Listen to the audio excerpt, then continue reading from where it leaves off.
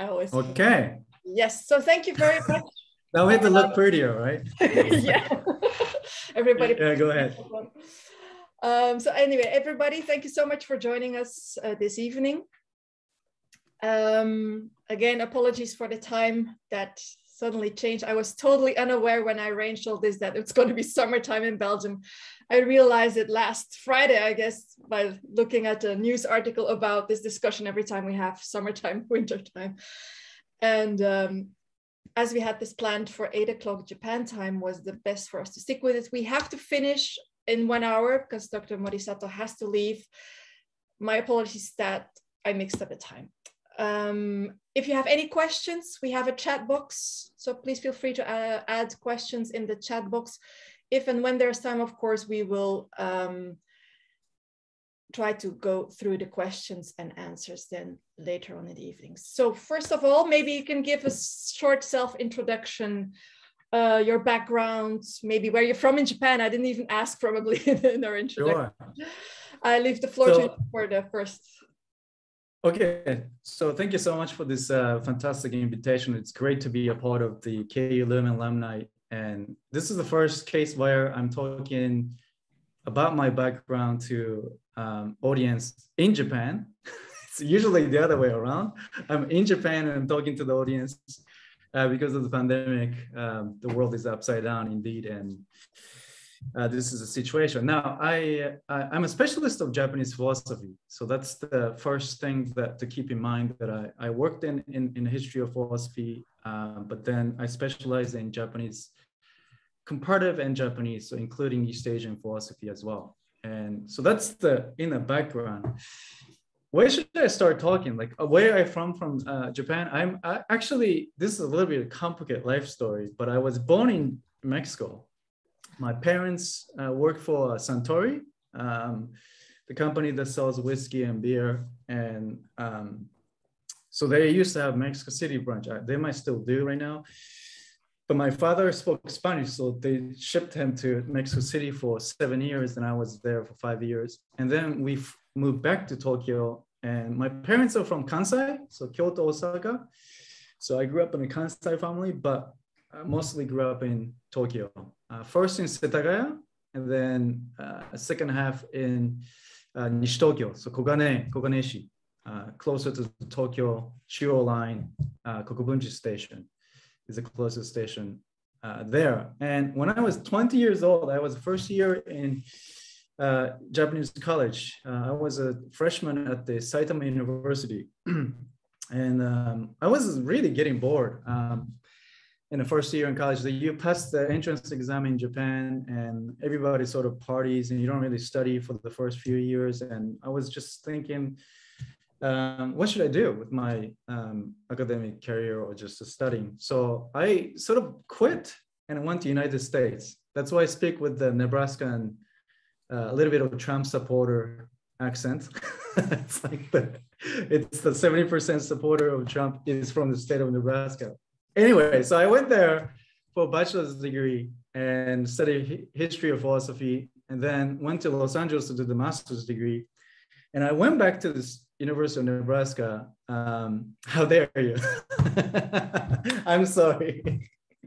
um, so I went back to the Nebraska to teach philosophy as a full-time teacher, full-time lecturer at the University of Nebraska, my alma mater. And um, I was wondering what should I do with my life, basically. You know, I'm a philosopher, so I have to wonder all the time. Then I met this professor from KU Leuven. He's Irish professor, uh, Professor William Desmond, who received emeritus, I uh, became emeritus professor a few years ago from philosophy department. And I met him in Philadelphia and Texas, and he remembered me from the audience two times. And he said, "What are you doing after this teaching?" And I said, "Oh, I'm, I do not know what I'm going to do." They said, "You should get a PhD." And I teach in KU Leuven in Belgium. So you should uh, come over. So I just sort of decided that's what I'm going to do. Um, now, KU Leuven philosophy programs used to, maybe they still do, this, this amazing pamphlet that every philosophy department you go in United States, you see this one giant pamphlet of names of famous scholars. And it's like a myth back in the days. This is the United States. So it's like it's open admission. So if you meet the minimum requirement, you would enter. And also it was free education, you know, and, and that was a kind of like a myth United States. It's like, that's not possible. right? So just I remember this distinct pamphlet and I'm having a conversation with a professor from KU Leuven. Oh, you should come to Belgium. Uh, so that's how I ended up coming to uh, Belgium. And my partner is Belgian. She's uh, Flemish. Uh, she's from Turnhout. So you know, uh, that's one of the reasons why I um, actually. So to fast forward, after finished PhD, I started the work in Japan two years, and then came back to University Libre de Bruxelles for two years postdoc, and then I had a research fellow position for five-year contract at the uh, Sun Yat-sen University in China. Uh, it's a famous university in southern China, and I was working there first year, and then I was thinking maybe we have to think about like moving to China, but I go there first and set things up because things are quite complicated. And I was there and then visited her in the Chinese New Year, New Year's Eve in January or February 2019. That's when Wuhan happened. So the flights to China all canceled. And then after that, Europe followed suit, right? And so basically, I was just staying in her hometown for a year. And then you know, just first year I was working for Chinese university online, but it was not sustainable position unless you actually go back and it was not thinkable for me to go back. So I just, you know what, I'm just gonna stay in Belgium, stay put, uh, look for opportunities that are um, closer to my specialization. And then JETRO Brussels office hired me. Um, and then I also work for a Japanese sake company that the imports and sells Japanese sake in Benelux region and beyond, they needed to somebody who can actually read the labels and also explain where it comes from. And so it requires quite a bit of knowledge of history and, and, and politics and uh, geopolitics of Japan. Um, so that's what I've been doing. And uh, Professor uh, um, you know, I approached him as, listen, I, I'm a specialist of Japanese philosophy um, I'm looking for some university affiliations that I can put on my text when I publish uh, these books. And I said, you're more than welcome to join us. So before he moved to University of Tokyo, he put me on the list. Um, so I maintain Japanese philosophy work. And this is additional information that happened last like a month ago. Um, I'm actually becoming full-time lecturer, um, professor of Japanese philosophy at the University of Edinburgh in Scotland from this August. So I'll continue working with the KU Leuven, but I'll be um, teaching Japanese philosophy in academic context 100% uh, while carrying all the informations and connections from uh, and um, Japanese sake industry. So that's condensed you can pick any parts of it and it's going to be more than longer than one hour. Yes yeah. very very interesting indeed and, and very varied like you just say but let's why what i suggest is that we go through these very short questions you yeah. answer with a yes or no or whatever i ask. I think i send them to you and then we go deeper into some parts of, of what you're at this moment doing. All right. So what is your favorite belgian food Favorite Belgian food? I mean, there's so many cliches, right? Like everybody goes for uh, frites and chocolate, right? I'm, and okay. like a Flemish or Francophone? It doesn't matter. It doesn't matter. We're it Belgian. doesn't matter. It, it doesn't, doesn't matter? matter. No, no, it doesn't matter. Okay. Let's say okay, I'm going to think about this. But the first place that I take people, so I said, okay, right. I want to eat some Belgian food tonight. Like when visitors come to Belgium, and I take the first place is actually a Stoofvlees.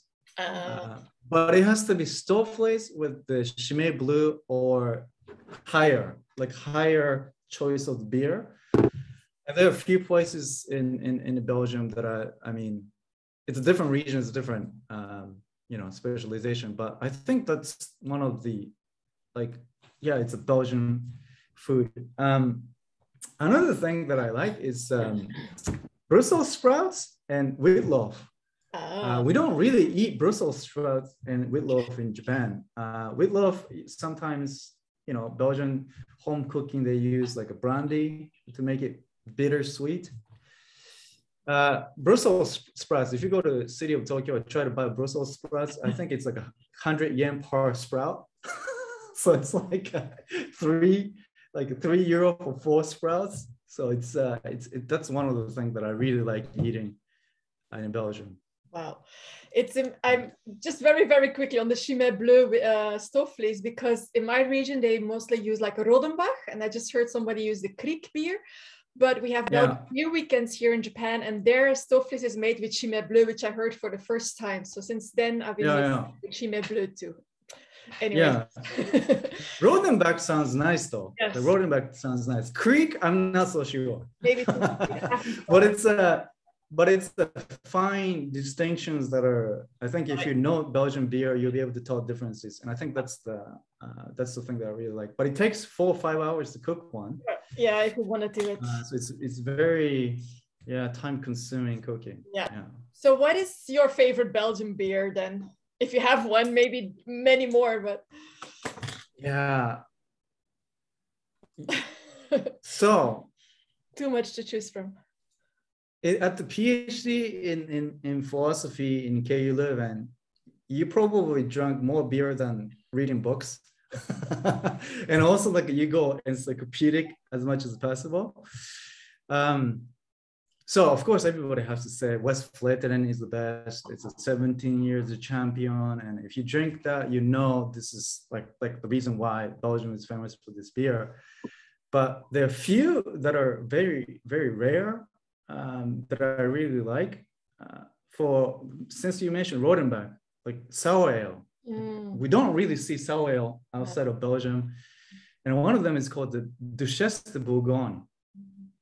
One of the best sour ale that I've ever tasted from Belgium, um, and another one since um, um, how, how do you pronounce it? Giles? That's how you pronounce your name? Uh, Gilles? Ah, Gilles. Gilles. Sorry. Jules, okay. Um, because your background in, in Ladouze I, am going to mention this place. It's in the faculty bar by philosophy department has the M Museum and yeah. oh. M Museum has like M Cafe. So the cafe built into the museum. They have this tap for um, Alpaïde. Um, I'll spell it spell it for you. I uh, have never. I don't know if I've heard of. Maybe it's a Pils or is yeah, it? Yeah, I even local Belgians don't like, know. Mm. Yeah, so Alpaïde brown. This one is as good as a Westvleteren, but it's really cheap. So it's like it's it's a regular glass, you know, price price, and then the level is astonishing. So, okay. um, but you have to go to Leuven or Hoegaarden, I think, to get it. I don't. I've never seen it outside of um, Leuven before, so and specific mm-hmm. places in Leuven that have tap even. Yeah, well, so those are the my great. favorite ones. Uh, I mean, it's a new beer. If I have to keep it short. You know. um, then, of course, our Belgian frites, the fries with mayonnaise yeah. or with ketchup, or you have another samurai sauce. Let's say I don't know, people. Yeah, I think it's disgusting if you come from a ketchup culture to go into mayonnaise. And it's true, but I think at some point you have to try the restaurant grade mayonnaise uh, frites. So it's it's a little bit of both, you know. And I don't know, you've been to friture place lately, but the number of sauces I think increased over the last like 10 years. Like I remember when I came here, it was just mayonnaise, that's it. But then from the third year onwards, you started the cocktail sauce, samurai sauce. And then recently I went to uh, one in Brussels because uh, this Singaporean students wanted to meet me. So we went to the one famous one and they had like 20 different sauces. So maybe half of them are mayonnaise based, more than half of them. Yeah so like I think we have to get rid of this idea of mayonnaise that come from Kewpie, you know, just the one specific kind of mayonnaise. And I think um, you know, so like I would say mayonnaise, but with with with the qualifications. All right. And then do you have i don't know maybe you know your your uh, your partner is flemish speaking you're stu- well teaching and studying in leuven it's a flemish part what you have a favorite flemish dutch word that you've learned or that you i don't know how if you understand a little bit or not at all? Famous. Famous? Favorite. Uh, the favorite? Yeah. favorite? Or a favorite flemish word wow okay that's a really difficult one. Oh. Um what's your favorite flemish word? And then maybe it would spark my uh oh do god you have any favorite? Oh no. uh, we were we always discussed like because we have different you know dialects as well from where we are so we were discussing Uh-huh. uh, on the on the What- boat what is this? I don't- Upper, upper, below. It's a color. Oh, It's the name of a color, but it's really interesting because it's not Yeah. blue and it's not green. But the Yeah. the link is it's apple blue and sea green. The translation is, but, but apples are green and sea the sea is blue, right? Yeah. So it's really nice because it's in between green and blue. It's like peacock. So that's why it's such a nice word because it you, it Mhm. it shows the interconnectedness between green and blue. hmm hmm hmm Yeah, I see. So the color, color. Mm-hmm. Um, yeah, I don't think about any color, but the, the, there has to be something specific, um, right? The, the, the Flemish culture that uh, um, it's not a it's not a word, but I like the Flemish expression when you ask the questions about yes and no. There's always in between, and they go like this.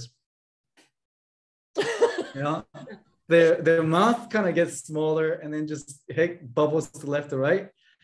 And you know, if you push hard, you can get through it. I think that's the most most favorite favorite. Uh, but you know, I think the the most common word that I struggle in the beginning was is probably gezellig, ah, so cozy. Yeah, Translation of cozy. It was very difficult for me to understand. Uh, but now I do. Like I now understand. Okay, that's what you're going for. It has to be. Yeah. It has to be comfortable. It has to be cozy, right? Uh, so maybe that's the word. Thank What you. is this sentence? So I can pronounce it, Jill, because we're from the same dialect, but you can explain it. So Ossam Bludendeuren doen. I'll Is say that, that which dialect is this? it's So, best. so thi- yeah, it, West it's very like Okay. typical West Flemish, um, hmm and it, it's it kind of comes from this typical farmer culture of like, no matter how tough it is, you just keep going. So You just keep going. yeah, that's the literal Wow. translation there. Blevin. Okay, just keep going. Yeah. Yeah. Sounds like a, almost like Japanese. But I do notice like the West Flams are hardworking. Like they present themselves as That, that's Very the stereotype. yeah stereotype. Like you you, you like Monday eight o'clock you're still working. right? Yeah. Exactly. Yeah. I see. I see. Expressions. Yeah.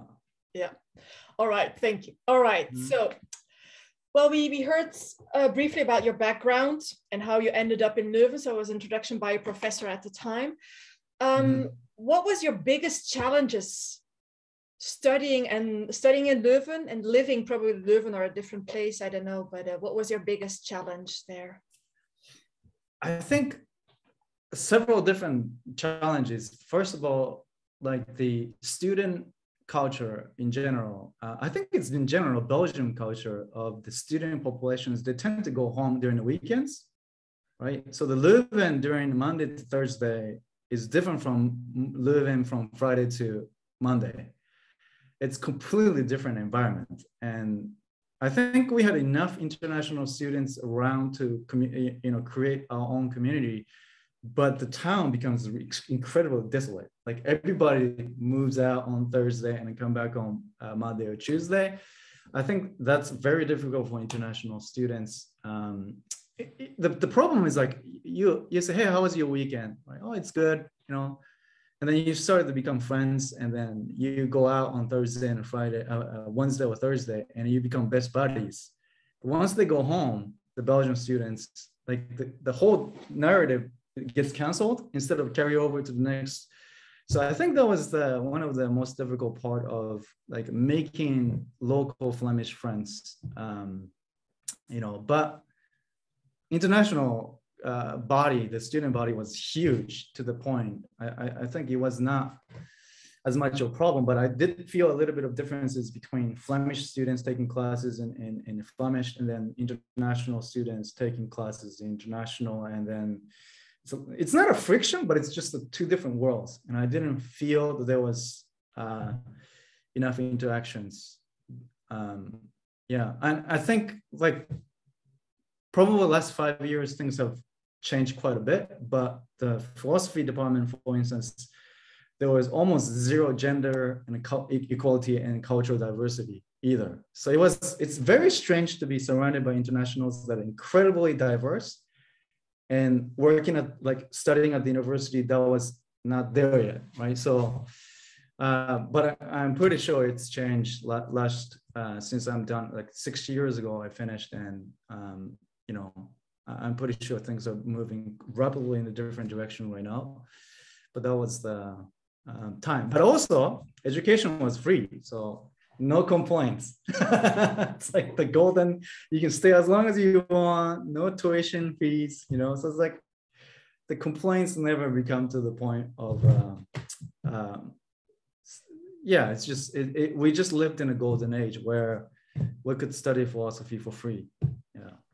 Yeah. Yeah, but it's true that you know with we don't as a student, you know, we don't really realize that i guess that you know we go home for the weekend you know we have laundry to do yeah. or you know mommy has laundry to do and, then cooking for yeah, yeah, yeah, like that but it's true that in that case indeed you are less connected with with the students over the weekend when everybody has free time and i think in Leuven too there's this huge division between locals local people local living mm-hmm. there nothing to do with university and then the students of course and I yeah. think for us, when we study in Japan, that's probably what we, well, I did try to do. Like you know staying away from the international students but go, hang out with japanese students or yeah, yeah. people to learn more japanese of course so actually that's yeah, yeah i hope it's changing um, and that's also mm-hmm. many more people probably live in leuven now i don't know if they go home that frequent uh, in the weekends but um yeah and uh what was the second point? I, I, I also think like the Leuven is really student town. Mm-hmm. So when students of like, you know, I started my PhD 26 years old, 27. Uh, that's MPhil, so like maybe 28 when I started my PhD. End of 20s. So it's different like age group, right? Like the all the bachelor students are just coming out from high school and just going to university. They have to go home, and then older students I think my recommendation is like maybe move out of Leuven, like live different town and then commute even. And I think that gives you a little bit more like enjoyment of studying at Leuven instead of just staying Leuven whole time and go back and forth between your court to library. Just live in an apartment somewhere in Antwerp and then come down to Leuven. No, I think I seriously, this is my recommendation to uh, incoming older students. Yeah i think but i think in my case i had like a totally different life if you know like weekend life and then student life and that was probably i don't know maybe i was an ex- exception but uh, yeah i understand yeah. it's it's true um, yeah. and then of course free education that's what we also promote that of course well free or it's mm-hmm. it's also very it's less expensive for um especially japanese students wanting to study in an english environment in belgium um, but I always tell them it's hard to um, to graduate. So it's you know it's maybe easy to mm-hmm. get in, it's open admission, but it's harder to graduate. You do have to study and and, and get decent yeah. grade before you graduate. Mm-hmm. So uh, yeah. of course, exchange students are a bit different story as they have uh, you know they don't maybe we don't need the credits all all of them. Um, yeah. So any other things you you actually like the most apart from free education studying at Leuven University? Free education. Leuven has one of the best libraries in the world universities because you have so many faculty has its own big libraries and they are all in walking distance. So if you study in Paris, you study in Rome, you have amazing libraries, but it'll take forever to get to from one place to another, easily like hour and a half from one library to another. Whereas in KU Leuven, you just walk from one to another. Um, so in terms of research, I think that was one of the best places to do research. Um, yeah.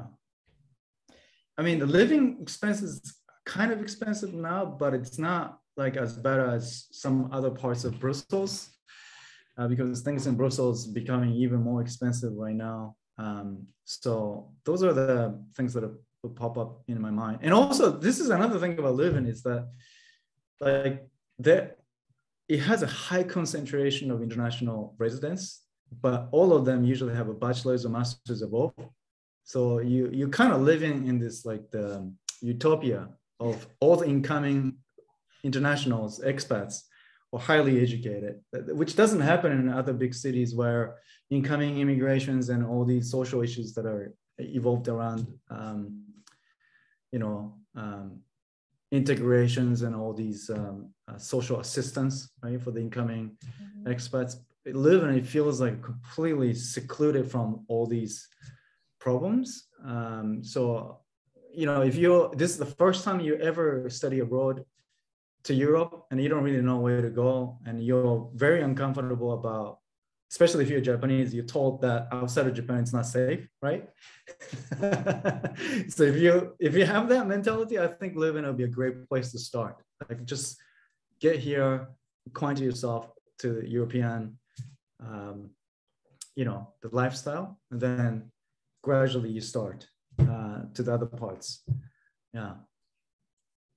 That's indeed a good point. Like, like you said, it's it's so close to Brussels in a way, but it's totally different. It, it's a city, completely different. City, yeah. but um, and then of course yeah. with the university. Well, when I was studying there, we only had, I think at the time, the Kortrijk campus as well. But now looking at it, they have so many in different places, other campuses all over the country. Yeah. Right and um, but of course to me i think to all of us the alumni it's still that you know leuven is probably the main for us and, and the place we go to mm-hmm. as well i think in my case that's where i made the best friends that are still now in either in japan or in belgium and there's this amazing connection with the with these students well alumni i have to mm-hmm. say by now yeah um, yeah yeah all right so yeah. in what way did your uh-huh. studies at KU Leuven influence your career or your, your choices you have made in your career? In what way? What, what do you mean? The why I, I chose KU Leuven? No, how they influenced maybe like your career choices afterwards. Like you know, you went to China to to work there. I don't know if that. Oh yeah, yeah. You know, influenced okay. maybe I don't know. It's it's a huge place, so it it doesn't have a kind of voice that you might actually expect from other smaller liberal arts universities in the United States or um, maybe it's similar to Chuo University in that regard. It's, it's a big university.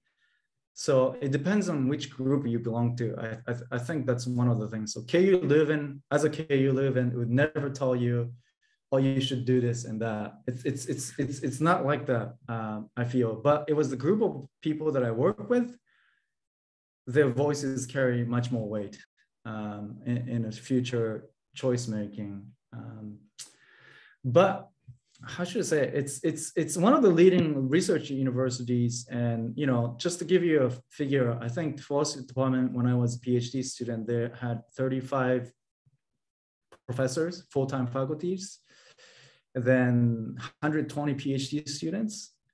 And we don't even know how many postdocs are swarming around in that nest. then you have master's students, MPhil masters, and then bachelor students. So at that time, you stop counting how many people there. And all of them were hardworking, which is a, which is incredible. I think one of the things about KU Leuven is that when you teach KU Leuven one course, you can tell that they're really, really hard work workers. So other university you go, you, you feel like, oh, okay, I need to slow down a bit. Um, you know, when I taught other different universities, like top students are usually the same. Like the top student from KU Leuven or top student from one of the state university in Nebraska, it's, it's the same because you're only 18, 19 years old. You can't be that different. But I felt KU Leuven was like the average students hardworking ratio and the percentage of the great students are pretty high. Um, so that definitely made me sort of aspire to become researcher, uh, do well. Um, so like when I have a choice between small universities with higher pay and a big university with a research fund and moderate um, salary, I'll probably pick research like a KU Leuven styles of uh, university. But the um, yeah, everything was going for really well. It's it's very rich university. Libraries are really amazing, and everybody's working on everything. Um, and I also I'm I was older when I started at KU Leuven, so I enjoyed that sort of autonomy. Um, you don't have a supervisor, you have a promoter, which is like if you speak English, you come in and you meet your supervisor and they call themselves promoter. Suddenly your brain goes like, what, what does this mean? But it really means that, okay, you are on your own with your colleagues. I'm not going to supervise you like a supervisors. And I think that's something that I enjoy so much that I sort of like took as a role. Like when I instruct students to say, look, I'm going to supervise to some extent and tell you what not to do, but you need to have your own autonomy. Um, you know, do your research that you think it's valuable um, instead of like assigning students or you know postdoc student, graduate students under your research and just control them. Um, I think that's the one of the characteristics that I learned from Caleb. Yeah, that's good to know as well. Like I said, in my position right now, it's just a part time also for K Leuven, but it's it's it's for me. It's like I only spent one year in Japan at the university, so it's sometimes hard to explain how different the the class yeah. the teaching is. So it's good to know to hear from other people. Um, yeah. Are you currently teaching at the philosophy department and the Japanology, Japanese studies? Both. So usually you don't have a philosophy department that teaches uh, Japanese philosophy. Um, you only teach European philosophy in philosophy department uh, in European universities. Right. but you know, recently, there a lot of philosophy departments realized that this is a problem because like, if you go to history department, you can't just teach European history and say it's the world history, right? So I think there's a shift within the philosophy department. They started to culturally diverse uh, diversify their curriculum. Uh, not everywhere, but some places. So from my University of Edinburgh position is philosophy department, and they asked me to teach Japanese philosophy. So it's it's, it's kind of uh, progressive and revolutionary in a way. So they want to study Chinese, Korean, Japanese philosophy as a part of philosophy department. Uh, at the KU Leuven, I did a comparative philosophy. So it's it's not only Japanese but also European and Japanese. And again, my supervisor was very progressive. Um, he said, "I don't, I know nothing about Japanese philosophy, but I want to know something about it. So why don't you just like specialize in that and tell me more about the specific topic from Japanese philosophy?"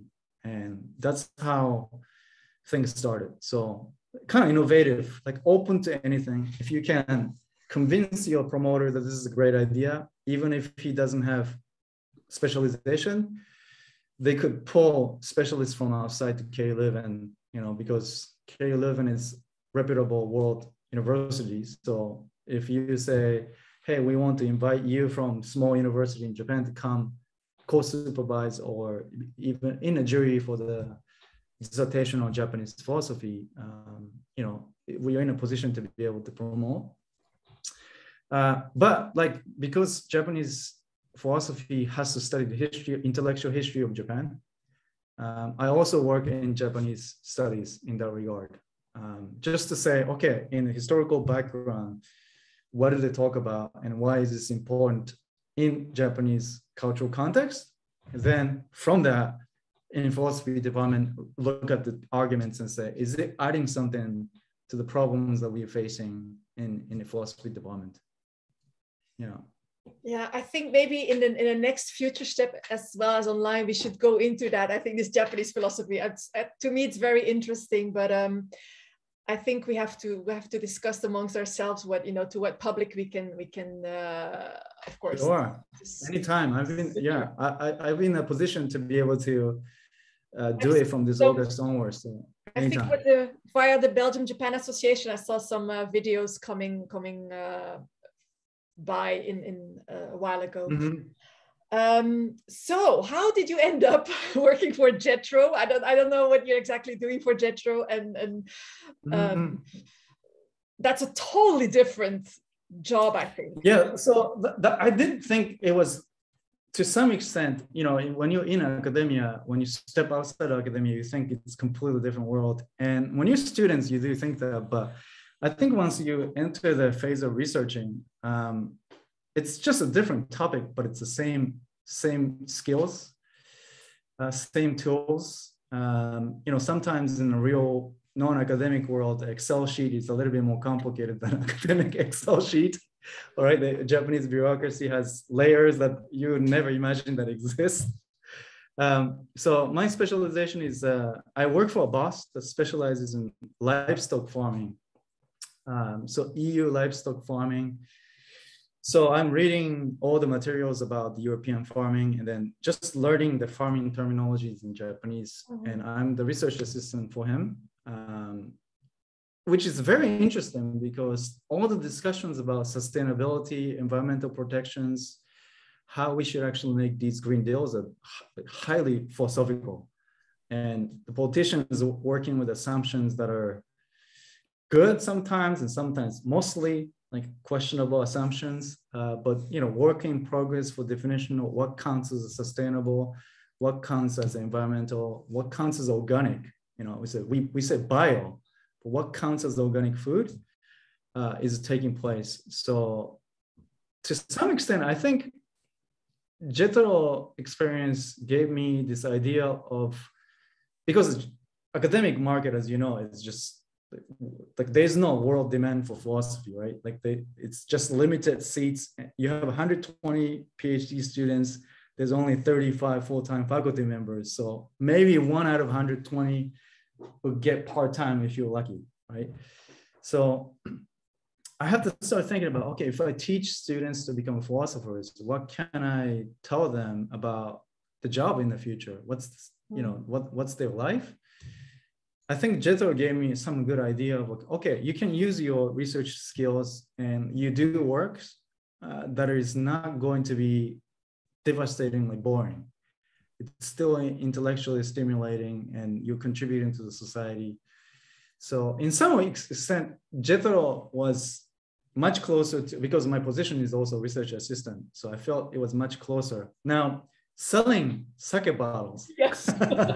I think wow. I, I, felt that was like way out there. It's like completely different. Uh, but because the sake is cultural product, you know, some of the bottles being made since like 1400s, 1500s. Names are the same for last 500 years.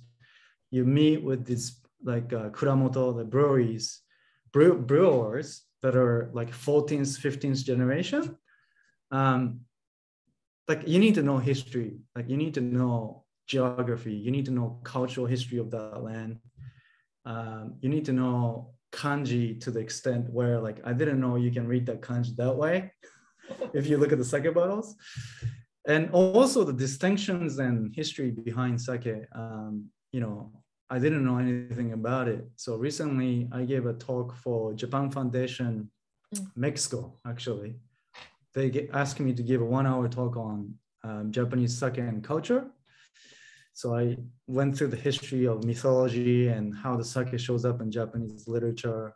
Um, so the, the world of sake is almost as complex as the world of wine, uh, actually. And if you think about wine, it's very culturally important product where you can think about so many things you can do with that, right? Rather than just drinking it. Um, and I think it's the same with the sake, but sake industry hasn't been promoting uh, well enough to be able to carry that message across. So in that regard, like my position is cultural advisor. So like when they do the business communication between distributors here in Belgium and uh, producers in Japan, they have a completely different set of language and working understanding of even bottles. Uh, so I come in between and communicate uh, between them. Um, so it has been intellectually challenging in that regard. So yeah, I think once you kind of get rid of this assumption, like you could do whatever you want and you can still um, remain philosophical or literally or whatever your uh, background is in Japanese studies. well, I think personally, of course, I think all the others are nodding when we were when you're talking. So uh, it, is indeed true. It's the same as you know studying Japanese. What you're gonna do with that if you you know if you graduate or, mm. but it's true. Like I think for me personally, I think for many other people as well, your first job is so important where you learn way more. Of course, just not the language, no. the culture, the ethics of uh, work ethics, etc. But right. um, like in your case it's amazing how you feel that you know that working for JETRO is very similar to to uh, your research position at KU Leuven mm-hmm. and then I don't know how is sake perceived I don't know maybe not like you say Benelux not only Belgium but um I don't know as you know Belgium is a country of beer you know I think gin has yeah. been trending for the last couple of years as well um, I don't know I think next time you come come back to Belgium uh, for visiting your family you'll be surprised to see the differences um, because Belgium, in some extent, conservative, but also very open to new ideas in a way that are surprising to Japanese. Um, so, an example, um, my, my team has been very active on this, and it's actually, I haven't seen many of them doing it in the rest of the Europe, but this team is specializing in promoting Japanese sake in relation to European cuisine. Mm-hmm. So most of the sake import and distributors just talk to the Japanese restaurants and Asian restaurants and push them bottles. Like, this is authentic Japanese sake. Uh, but my team has been working on talking to Michelin star restaurants, uh, you know, the top horeca uh, industries, and Michelin, like a three-star Michelin restaurants, do carry Japanese sake right now. Um, so one of the really interesting thing about the higher end in horeca industry is that when the chef spends so much time creating this dish, they bring wine. And if you can read Japanese, you should definitely read uh, Oishinbo. Um, Oishinbo has like a few episodes on Nihonshu. Fantastic. Um, it's basically like wine has really distinct characteristics. It's very like when you drink it, you know it's wine, and then each glasses, each bottle has its very distinct characteristics to the point. When you go to the Michelin star restaurants, you expect that the really good wine comes out. Um, I have to break it to you, but it's not.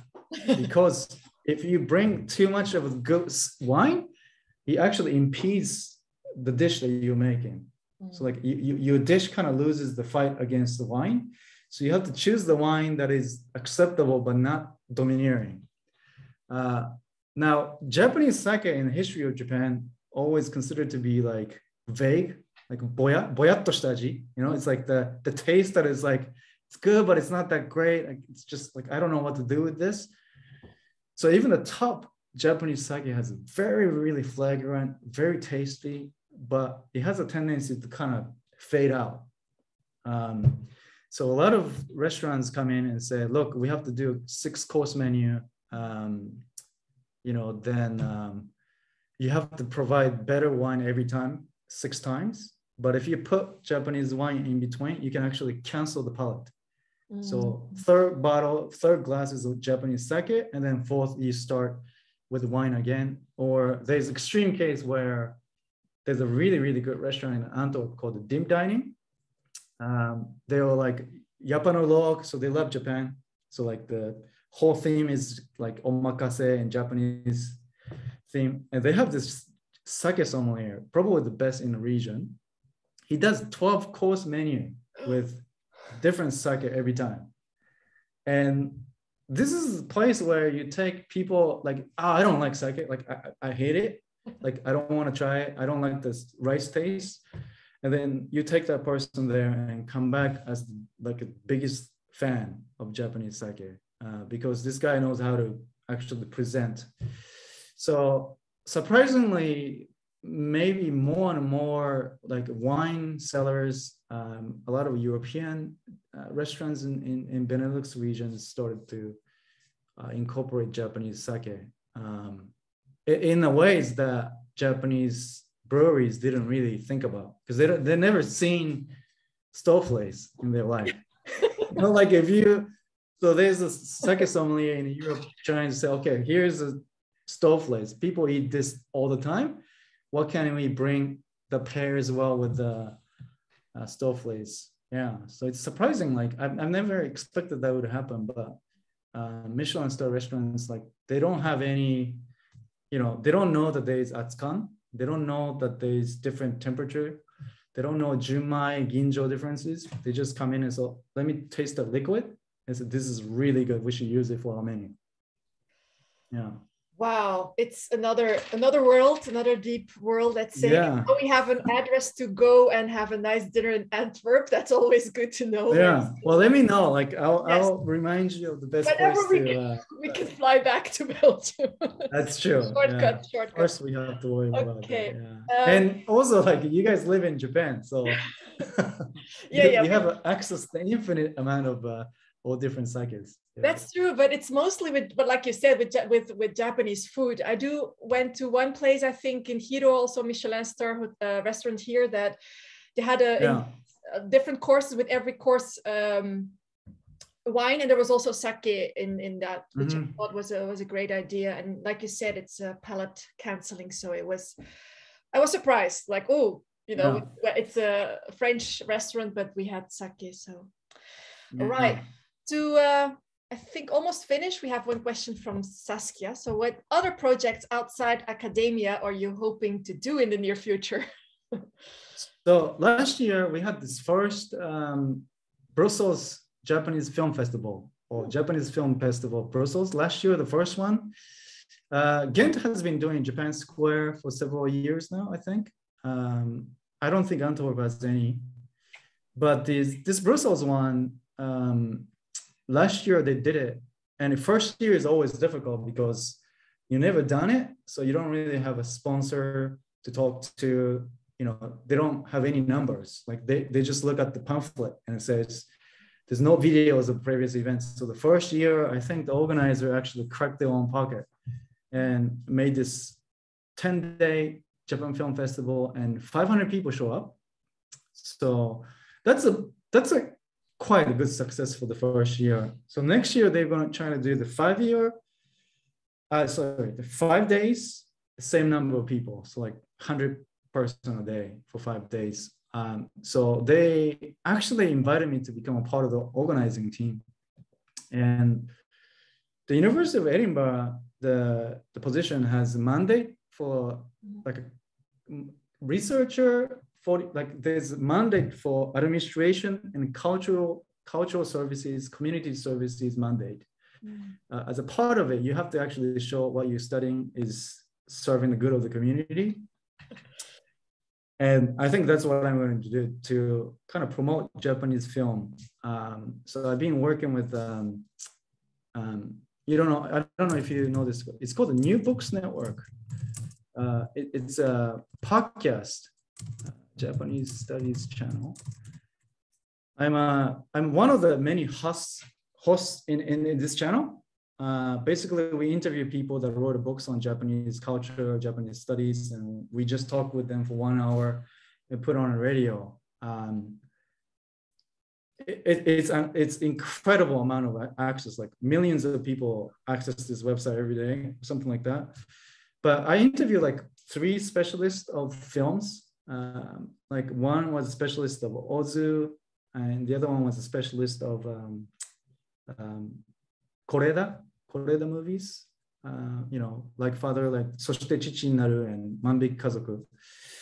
So we are thinking about maybe doing this film festivals and then like organize some event on Japanese film uh, and then maybe write a book together. So it's a semi-academic semi hobby uh, kind of thing. And you know so that's that's the outside um, academic academia. Yeah.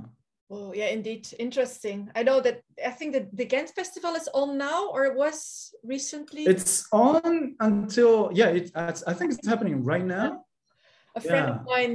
So, you know, I know all this phase, we know we have the alumni, we have the Japanology, so everybody shares information. So we're always happy to share whatever you're you're doing back back in Belgium, of course. We Fantastic. have and as we know, as of this morning, well, this morning here in Japan was uh, Drive My Car has just won the foreign, the yeah. foreign uh, I watched it last week, two weeks ago. Yeah. Oh, yeah. The, the, I, the, how do you say, I haven't seen it yet because uh, Are you using it? Okay. I'll, I'll, I'll... I have heard a lot of different uh, feedback from like people in the states Yeah, yeah. and then in Japan. yeah. But um, I'm gonna go with an open mind. I actually uh, Nishimura-san is it Nishimura-san the guy who's uh, he is an ex-boyfriend of a good friend of mine, which is quite interesting. So Wow. It's personally involved, which is it's like- perfect for the plot, actually. right. Which is perfect for the plot. Yeah. Um, maybe like one thing that you have to be careful about that movie is that you have to eat something before you go in. All right. It's three hours.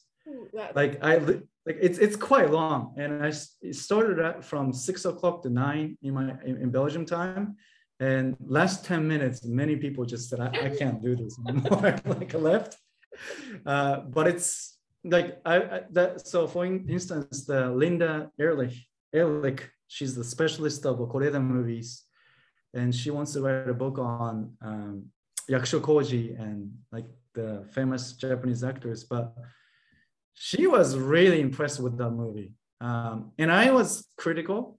Um, so we took the two different positions and said, here's the reasons why I think some of the things that are happening in the movie uh, is, is tough to swallow for me. And then she said, yeah, I totally agree, but here's the brilliant points. And yeah, she kind of convinced me. I think it's, it's a fun, it's a director is young. Um, so I think there's still a future, but I, I, think it's worth watching. Uh, one of the things that I really enjoy from that movie is that it's so long that I forgot that we are in a pandemic and also the Ukrainian invasion, like for about 30, 30 minutes. Oh. so it's like, uh, it's great. It's, it's just so stressful every day in Europe right now. Yeah. Watching a movie like that gives you a pause. It just, Oh. it, it just stops you from thinking about it. And it was, it was great experience. Yeah. Well, great. Well, Mhm. something for me to look forward to. I don't know if the others have seen it already. Yes or no? No, I see no. Yeah. um, well, we have. But hey, if you fly back home with the new route and it takes uh, four hours longer, you can watch the whole drive my car. Well, I'm planning to fly to Europe in June, so that might be on the to-do list on my plane because it's a long. I'm not going to Belgium. I'm going the other way, anyways. But The other um, way, yeah. I can imagine it's Yeah. uh, it's going to be a long flight. So that's actually maybe I should wait until June. but then people will start talking about it here, so I need to be you know be aware of what's happening Oh. in the movie. Mhm. All right. I want to thank you so, so much. I think I have a lot of ideas that we can like still talk about later on, maybe. Um, because like, yeah, the sake, it's so to me, it's, it's, uh, it's, uh, you know, sake, the JETRO job, of course, your academic research job as well, and the connection with Leuven we have. Uh, I don't know if there's anybody else who wants to put in a word, Jill or Els or Saskia or Okubo Sensei, feel free to uh, Well, I, I think it's in order to, to say that I, I think your your talk and your your experiences have been really interesting to hear. I think they're they're a little bit out of the box and, and that's what I appreciate even more about it. And I don't know, maybe it's your philosophy mindset that enables you to think outside of the box in, in that way. But I I'd like to imagine that your your experiences at KU Leuven and other life experiences that led you there um, have have helped you shape uh, into that kind of uh, thinking. And um, Yeah. I, I I feel like I need to apply way more of that into my own life as well, and I hope Mhm. others here. Yeah. um, But you know, I think I think sometimes like the information about Japan to Belgium are quite limited. it remains to stay within the Japanese studies, whilst the public interest in Japan is quite high. And I think a lot of Japanese people know Belgium through football, uh, but they don't really know what Belgium is and what Belgium can offer. So hopefully we can actually do a little bit of both, like talking about Belgium. Um, so you know, like I'm actually persuading my boss to send his daughter to KU Leuven because it's cheaper to study here uh, in KU Leuven than go back to Japan, right? And and uh, I'm sorry, uh, Professor Okubo, uh, Chuo University, and and also if you want to come back to to Japan for the study master's degree, you could always do that from K Leuven to master's degree in Japan. And you know, sometimes we even talk about the Gyakuyunyu, you know, the reverse study abroad, like you're K Leuven students, but then you can study abroad in Japanese university. So um, I, I, think in the future there's going to be a little bit more fluid relationship between Japan and Belgium, and I hope to see that happening. I, am very glad to hear that because Chuo University right now they very emphasize the uh, student to go abroad, especially in the yeah. It, mm-hmm. it, it's nicely circumstances for Japanese student to be yeah. in, in, in the heart of the Europe. Right. Yeah. yeah. Absolutely. Them, yeah.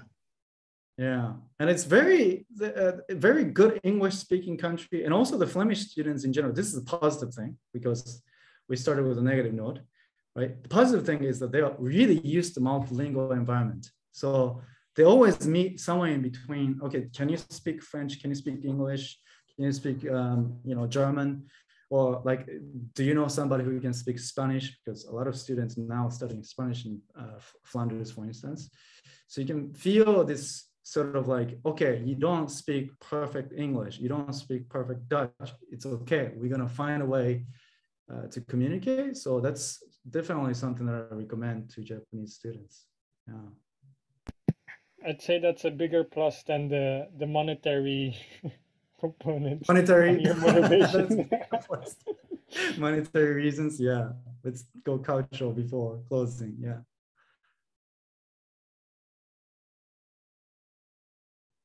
Sorry, I was muted. I didn't. Thank you so much. Time is up. Thank for you. those who want to stay online, please stay online for a few more minutes and have a chat. Thank you so much, and I'm sure we'll get back touch. to you for later. Yeah, I like I'm accessible online. Like Nelly probably knows yeah. already.